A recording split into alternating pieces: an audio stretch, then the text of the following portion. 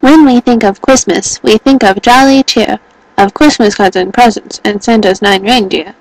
But when jolly Christmas, Santa was no more, for Santa Claus got murdered, all bloodied on the floor. He got murdered by a man who had no cheery joy, but wanted Christmas for his own. He wanted every toy.